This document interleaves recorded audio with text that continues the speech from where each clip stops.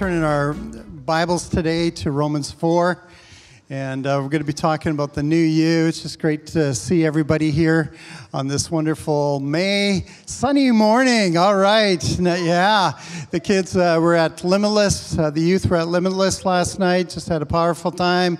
Tremendous time there in Molalla and uh, just great to have them back. And uh, but hey, everybody, let's uh, turn in our Bibles uh, to uh, Romans 4. But uh, before that, I'm going to read a few other scriptures, and then we're going to go into it here. All right, here we go. And so we're continuing this series on the new you and looking at in the middle of Romans and uh, from the book of Romans, and we've looked at uh, grace and that that is uh, God's favor and force uh, working in you. Every one of us, we don't deserve God's grace. It is unmerited, undeserved. And God, in His wonderful love, looks at each and every one of us and He, he uh, says, Hey, it's available through Jesus Christ. But as well as that, it is, a, uh, it is the force, it is a, a power an empowerment of the Lord and a, divine enablement to do what is godly, what is right. It, it just does. Uh, sin may remain, but it doesn't. It doesn't reign anymore. In other words, the power, the influence of sin doesn't have the control over our life. We may be tempted. We may experience uh, Satan attacks, satanic attacks on our life, but the grace of God comes into our life and it, it, uh, where grace reigns, sin wanes and there's a moving away from those things. It doesn't just give us a, just a freedom to do whatever we please or whatever we want to.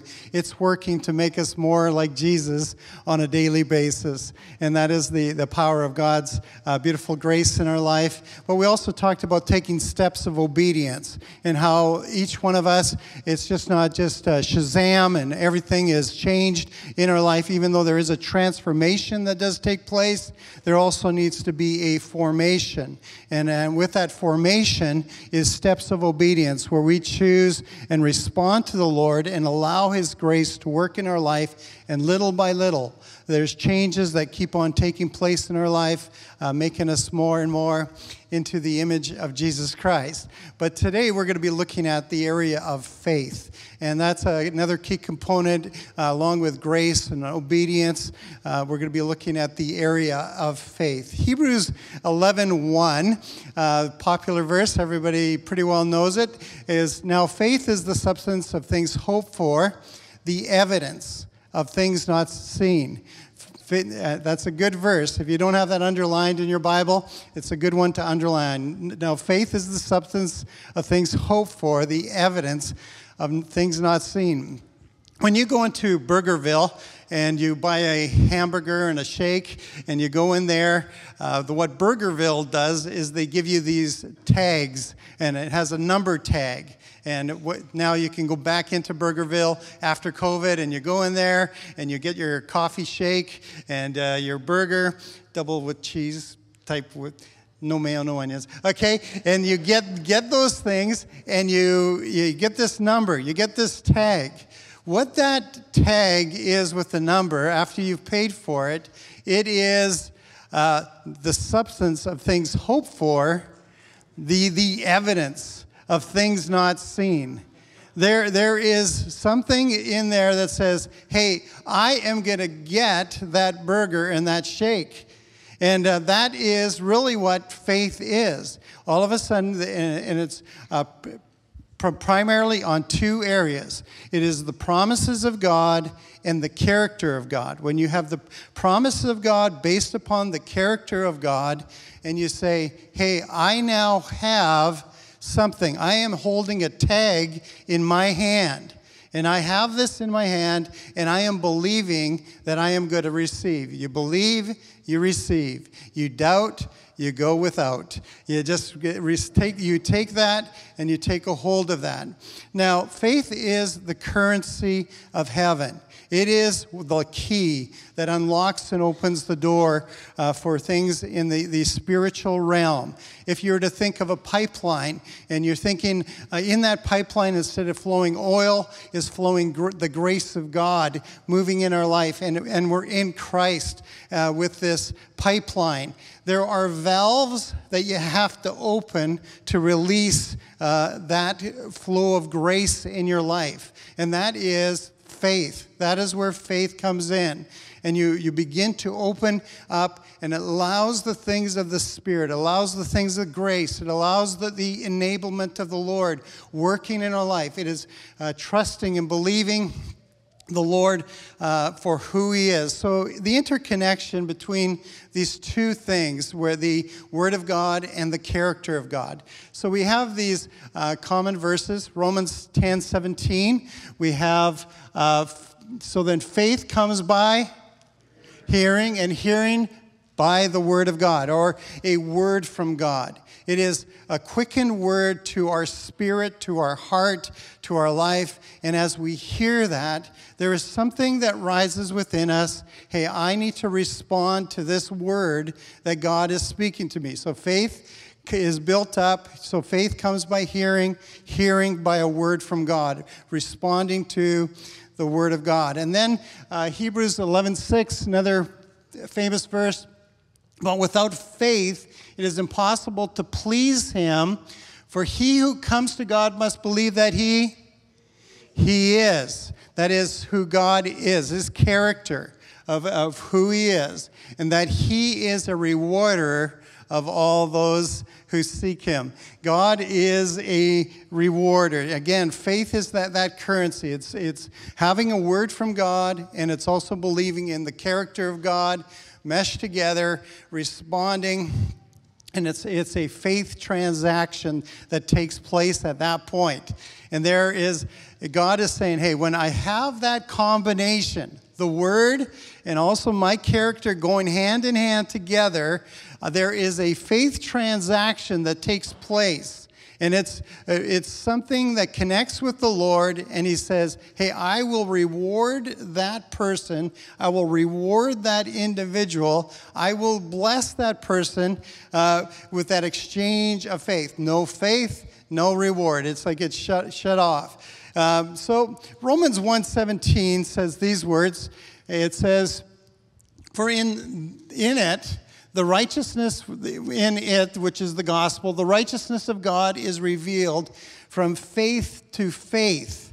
Okay? It isn't a stagnant faith. Okay? It's not just a one time faith. It is an increasing faith. It is a growing faith. It's moving away from just a dormancy. There is something within us that is expanding and enlarging each and every one of us in our faith, that we're growing. The just shall live by faith. That there would be this characteristic that would be over each and every one of us, that we would be a people of faith. The uh, word live here is a, a word zoe, and which is the divine quality of life. And th- there's something where each and one of us are looking for the abundant life in our, in our, own personal lives. What happens there is as we put our faith, as we put our confidence and trust in the Lord, and we're, you know, we've been trying other things, we've been doing other things. We have that first response and we say, Yes, Lord, I'm going to follow you from this point on. I'm going to put my trust in you, my confidence in you. I'm going to believe in you and not in myself. And you begin to live that life you know, it opens up that whole realm of the abundant life that God promises in His Word. The just, that's the righteous, that is us who believe in Jesus shall be, should be an ongoing, growing faith. Each and every one of us, it should be, uh, there should be something living and active happening in each one of us. It shouldn't just get stagnant. It shouldn't just get stale in our life. There should be something that is, that is of an increasing measure that is taking place in our life, making us more and more like Jesus, and also in our uh, reactions and actions with other people. There needs to be a growing faith. Everybody say, the just shall live by faith. All right. All right. Okay, let's uh, stand up, okay? Let's stand up for the Word of God. Now, turn to your neighbor and say, Good morning, welcome to Rock Point. Turn, turn around and actually, actually do about two or three people, okay? You know, just you just got to say hi to somebody, okay? Tell them they're looking good. welcome our friends from Holland. We have some friends from Holland over here. And uh, it's great to have them here. Praise the Lord. It's good to have guests and visitors. Here we go. All right, here we're going to read the scripture. Everybody, let's uh, look, up, look ahead here. Uh, Romans 4:16. Here we go. So the promise is received by faith. It is given as a free gift, and we are all certain to receive it, whether or not we live according to the law of Moses, if we have faith like Abraham's. For Abraham is the father of all who believe. That is what the scripture means when God told him, I have made you the father of many nations. This happened because Abram believed in the God who brings the dead back to life and who creates new things out of nothing. Even when there was no reason for hope, Abraham kept hoping, believing that he would become the father of many nations. For God has said to him, That's how many descendants you will have. And Abraham's faith did not weaken, even though at about a hundred years of age, he figured his body was as good as dead, and so was Sarah's womb. Abram never wavered in believing God's promise. In fact, his faith grew stronger, and in this, he brought glory to God. He was fully convinced that God is able to do whatever he promises. And because of Abram's faith, God counted him as righteous. God bless you. You may be seated. So, Abraham gets a promise at approximately the age of 75 years of age. And he says, Hey, your name is no longer going to be Abram. It is now going to be, which is uh, father. That he will be Abraham, which is the picture of a father of many uh, nations, or the father of many and that he was going to be a, the, his descendants would be heir to the promises of God's covenant, and his uh, this wouldn't come from his household. It, would, it wouldn't come from a hired person in his family, but it would be uh, straight from his loins. And so you think of this for a second, okay? Abram is a hundred years old. Okay, his wife is in the beginning of her. She's a young 90 okay? She, she's a young 90, okay? How many would want to be starting a family at 100 years old? You know, and we think of this on Abraham, you know, he is dead, basically. He's dead. And Sarah's womb is barren. There, there's not enough Viagra in the world that, that is gonna, that, that's going to help Abraham right here, okay? He, he, it is, it's dormant, okay? You are in a helpless situation, a helpless to bring something to life. There was nothing, okay, you with me? There's nothing in the natural that could have transformed and changed that situation at this point. He was helpless. And at that point, in, when he was 75 years old, he gets a promise from God. This thing is dead. I am dead. I'm, I'm getting a promise from God that I'm just not going to be a father, but I'm going to be the father of many. Okay? What do I do with that word from God? Okay? So he takes this promise and in these, these lines, we're reading, it says, God told him. He believed in God who brings the dead back to life. There was no reason to hope, but Abraham kept hoping, for God had said to him. Then Abraham never wavered in believing God's promise to his life to bring glory to God. He believed that God is able, that God could do it. He believed there. And then there's those lines that are there. It says, Abraham kept on hoping. He had a, a confident expectation that there was good, There, he didn't believe. His faith didn't weaken. It didn't lose its intensity. He, he never wavered. It, ne- it was a, uh, like an expressing of discouragement and disapproval, like, hey, God's never going to show up in my life. You know, there, and he just, he believed the promises. And it says his faith grew stronger. It developed. It, it became, became more and more.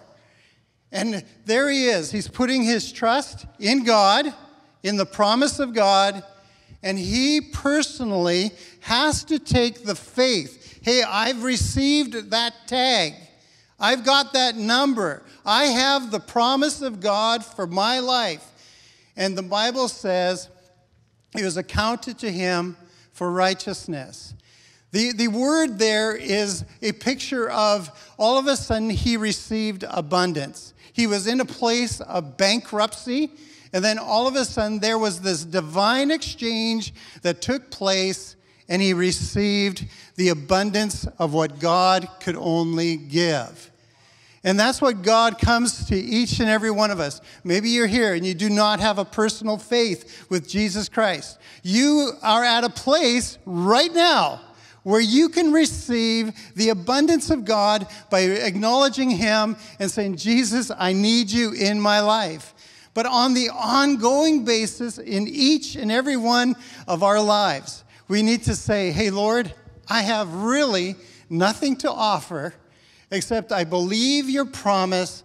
I trust your promise in my life. That is faith and I respond to that. And even though there might be a waiting stage, even though there might be delay in seeing that promise fulfilled in my life, Lord, I trust you and I believe that you can do impossible things and you can turn this around. And it was accounted to him. There's a time where, hey, the, the, there's a transfer, a bank transfer into his account of reward. God is a rewarder. He owes no man anything. He is a, everybody turn to your neighbor, say, God is a rewarder. Uh, you know, I, I want to hit uh, four things today, and I, I want to take it out of the Gospel of uh, Matthew, and it's talking about OU of little faith. OU of little faith. And the idea here of having little faith is like it is immature faith. It is under, underdeveloped faith. It isn't that you don't have faith, but the Lord wants each and every one of us in the school of discipleship that we are all in. We, God, Jesus is going to walk us through certain circumstances and situations, each and every one in our lives, and He's going to say, Hey, how are you going to respond in this situation? How are you going to take my word, my promises that I'm giving you and in this situation? How are you going to respond to them in this, these areas? And he will, t- he will test us in those areas to bring us more into a place of maturity and development. So, here, here are these four things that I want to hit this morning. The first one is worry. Worry. Matthew 6, we have this story. It goes that Matthew 6 30, uh, 31. This is in the uh, Sermon on the Mountain, and Jesus is talking. Now, if God so clothes the grass of the field, which today is, and tomorrow is thrown into the oven, will he not much more clothe you, O you of little faith? Therefore, do not worry, saying, What shall we eat? What shall we drink? Or what shall we wear. Worry uh, is comes like the word worry comes from the old German word to strangle, to strangle, and it is an inward, anxious, emotional, mental strangulation. Okay, worry is our life being divided and choked by inward fears. It is you know, worry is a, a form of atheism, okay? And you say, now, I know that's a little tough and a little challenging to think of that, but uh, you know, the worrier doesn't think, I'm, I'm not an atheist uh, by any means. But what it does is here in these this Beatitudes, God is saying, hey, there, there's a father, and a father who's watching over you, and He's a good, good Father. Everybody turn to your neighbor and say, He's a good, good Father, okay?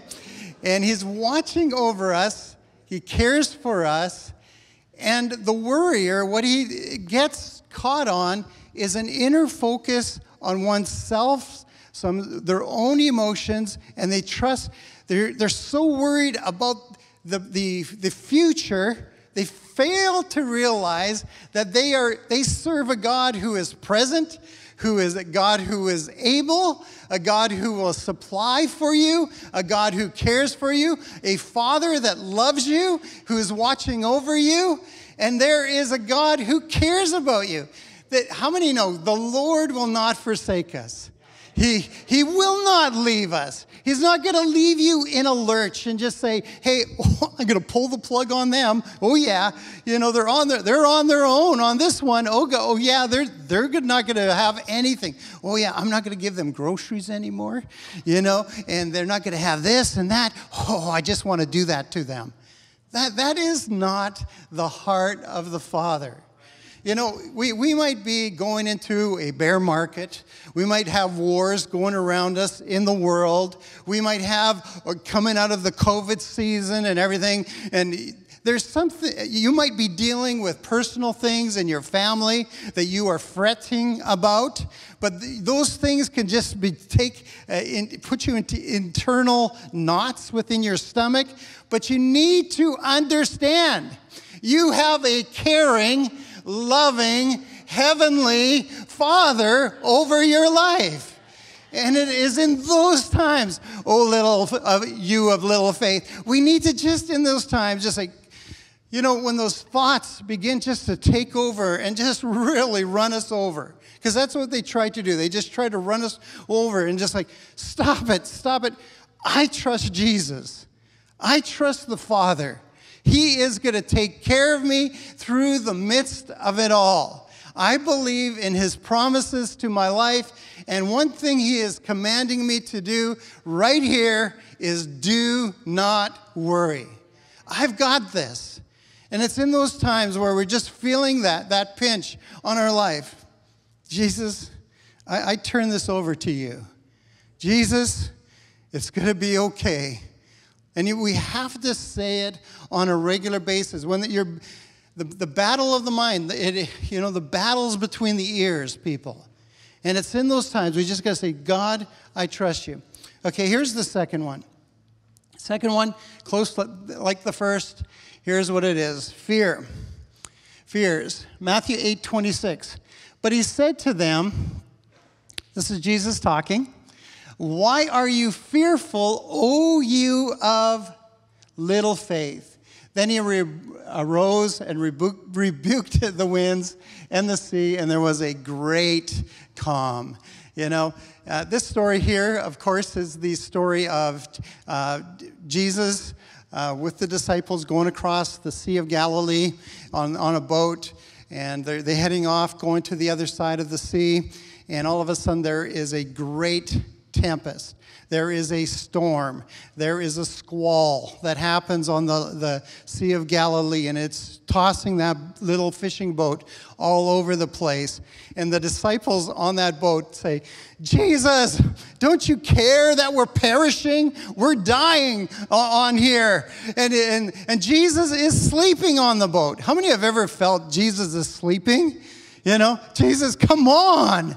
Where are you in this? And uh, finally, they wake up Jesus. Jesus gets up and he says these words in a groggy voice. He says, But he said to them, Why are you fearful, O you of little faith? Then he arose. He gets up, shouldn't stand in a boat, but Jesus did, okay?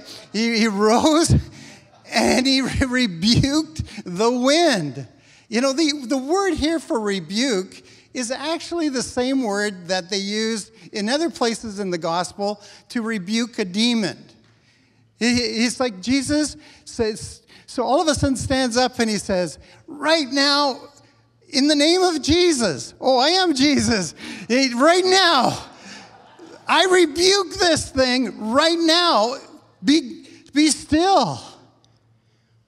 There, hey, Jesus isn't denying that each and every one of us go through storms. There is a reality that we, we face those things. There, there are things, people with their, their marriages, people with uh, financial situations, there's different areas of people have serious issues. Jesus isn't saying there, there aren't great storms in our life. But at that point, there is a point where we need to take an authority in Jesus' name. Lord, I am coming against this. I remember one time being in Belize. We're doing an outreach in a northern area of Belize that hadn't had much evangelism. And um, it was a scene. We're in this square. It was like a scene from Agatha Christie's uh, book or movie, The Birds and there were just like birds everywhere. It's like, here we're trying to witness and evangelize and reach people for Jesus Christ, and all these birds just flocking all, all around us. And finally, we, you know, it was, I was uh, a youth pastor at that time. Right in that square, it's just like, hey, we take authority over all the noise and the distractions that are going on right now. The birds are silent right in that, right in that square. You know, I know sometimes uh, Karen and I were coming into a Sunday as pastors, and it's like, I mean, it's like things are happening, uh, circumstances there, relational things there, family things over here and there, and it's like we just look at each other and we just smile. It's going to be a good Sunday. You know? you know why? Because Jesus is going to show up. There's, sometimes there are things people eh, that we experience, demonic forces that want to work against different areas of our life, where it just try to take a hold of us with fears, overtaking our life. Honestly, people, in the name of Jesus, I come against those things. God has not given you the spirit of fear, but a love and power and sound mind. He's giving you an authority over those areas. Everybody say amen to that one. And, and there's a great calm. Okay, here's the next one is doubt. Doubt.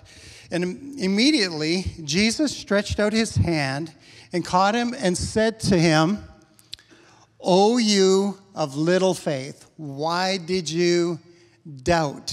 Why did you doubt? And so this story is uh, Jesus sends the disciples across again the Sea of Galilee, and he tells them to go before him. Jesus goes up to a mountain, he starts praying, and he sees the disciples on the sea, and they're again in another storm, and uh, they're facing it. And Jesus decides in the middle of the night to start walking across the sea. And he comes across there, and uh, the uh, comes to Peter, and Peter says, "If it is you." Command me to come. Command me to come. At which point Jesus says, Come. And Peter steps out of the boat. He walks out of the boat and begins walking towards Jesus. And he sees the boisterous wind, however you see the boisterous wind. He saw the boisterous wind, and all of a sudden he began to doubt and he begins to sink. At which time, Jesus doesn't let him dip three or four times. He grabs his hand right there and he lifts him up right there. And he asks him, Hey, why did you doubt? Why did you doubt?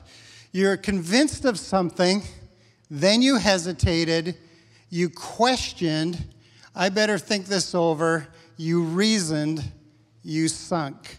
You know, Doubt is questioning what you believe. Unbelief, there, there's a distinction, okay, between doubt and unbelief. Unbelief is de- determined refusal to believe. Doubt is a struggle faced by the believer. Unbelief is a condition of the unbeliever. And there is, there is a distinction. And, and many times in our Christian uh, walk and our life, there are times, hey, Lord, what is going on? There are questions that rise in our heart, but and we're wondering, God, what, what in the world is going on? Doubt limits God's working in our life. Doubt doubts that God could do something through little old me. You know, there, there are times, you know, we're just thinking, oh, God, you're so amazing. You're so wonderful. You're so great. But I don't believe that you could do anything through me. You know, I, you know, just little old me. But God is looking for opportunities to work in each and every one of our lives where He just points to us and says, Hey, I want to work through you. I want to put my hand on you and I want to show my strength through you, and I want to just demonstrate my power through you, and I want to express all the good things that I have through you that I want to do. And it's like all of a sudden there, there's a, the, Jesus here is encouraging adventurous dis, discipleship. He wants each and every one of us to be bold. He wants us to do there's promptings that God puts on each one of our hearts. Hey, I want you to talk to that person. I want you to get involved in that ministry. I want you to uh, call that person. I want you to do this. And we have those times in our life where God is working on us, stirring on us, moving us out of our comfort zone. And He says, Hey, I don't want you to sit there anymore. I want you to get up from your seat and I want you to jump in and get into this, both of your feet, and just say, God, I am all in. I'm 100% going to go for what you're calling for me. I'm, I'm tired of, of sitting in the sidelines. I'm just trying to just to exist my life, just having enough retirement money so I can just die, so I can just have that nice place with a nice dog and beautiful wife that I do have, you know, but I just sitting there and, and that's all I do. God wants to stir you and challenge you for the divine purpose that He has put on your life. There is, come on, people. There, there is a fire that God has put in you. There is a passion that He has given you. He's given you a nation. He's given you places in your heart that you say, God, I need to pour my life into this and I need to do this. God says, jump out of the boat. Come on, be bold in your spirit. What is God telling you to do? There is something where God wants to move us into out from the doubts. Believe you receive. Doubt, you go without. Okay? And so, so there is this uh, working in each one of our hearts and spirit where the Lord wants to work out. There are, you know, I, I think of those times where, where I've jumped out of the boat. You know, some of the greatest stories of my life are, are the times I've jumped out of the boat. There are, there are ballads to be written, there are songs to be sung, you know, just of the good things that God has done through little old me. Can you believe that? Through little old me. You know, when we make ourselves available and we say, Lord, I'm in. I'm in with both feet. I'm jumping in and doing all that you've asked me to do. Somebody turn to your neighbor and say, Amen, okay? Here's the last one, and for this morning is Matthew 16:8, and it's dealing with reason. Reason. Matthew 16:8. But Jesus, being aware of it, said to them, "O you of little faith, why do you reason among yourselves? Because you have brought brought no bread."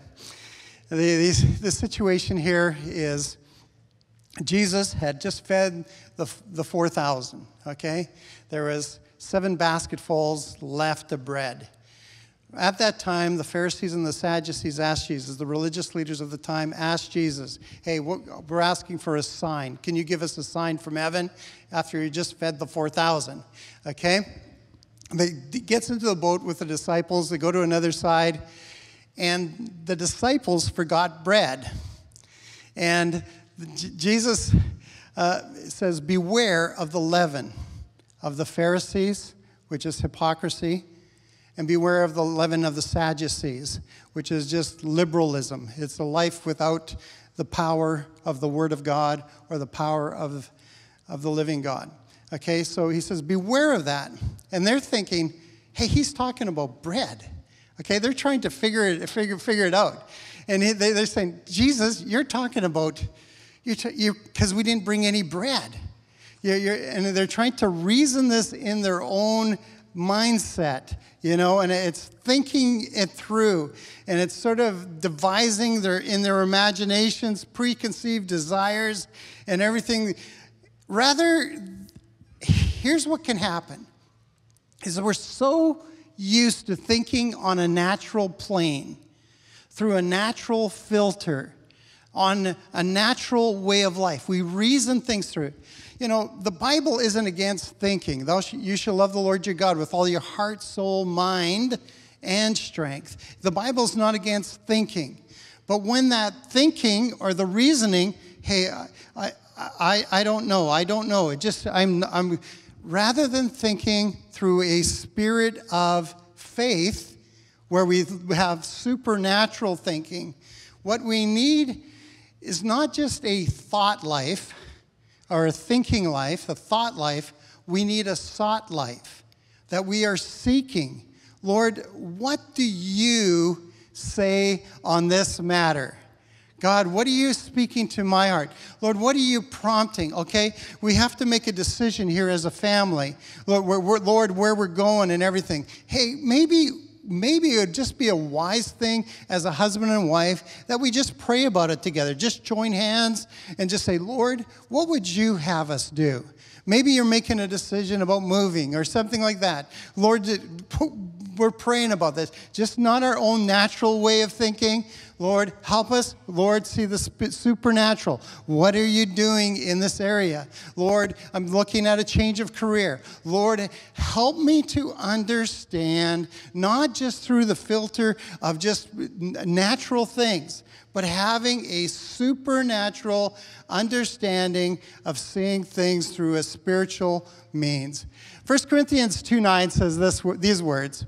It says these, these words, but as it is written, eye has not seen, nor ear heard. Okay, that is perceptual. That is our five senses. We're always trying to figure it out on the five senses level. Then it says, Nor have it entered into the hearts of man. That is conceptual. We're trying to, hey, intellectually figure it out, do it through research, try to put it together. The things which God has prepared for those who love Him. There is a realm that is spiritual. It isn't perceptual, it isn't conceptual, it is spiritual. It's not the realm of rationalization, it is the realm of revelation. And every one of us, faith, the realm of faith, walking with the Lord, living in the Spirit, the just living by faith, it is a realm of spiritual revelation. God, what are you saying? What are you saying through your word?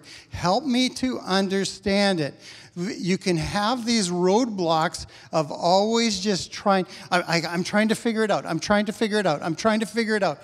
No, God, what are you saying to me? Not just in my head. Lord, let me take it for, into my heart and also apply it and speak in a word of faith, believing, God, this is going to be released in my life. I need to follow you, obey you, let the grace of God flow through my life in that area. And it's not just my mental exercises that I do, but it has to be shown to us from above, from the Lord. Amen? Let's have the musicians come at this time. You know, God has a promise, he, uh, His promises and His power, you know, His word and His character. And then it leads to persevering faith and creates the divine exchange of, of things going to our account or being imputed to us, where we experience from bankruptcy all the way to where we experience all of God having for us. It works through our worries, our fears, our doubts, our reasonings, and developing into mature faith, faith to faith. Just shall live by faith. Amen. Amen. Let's all stand.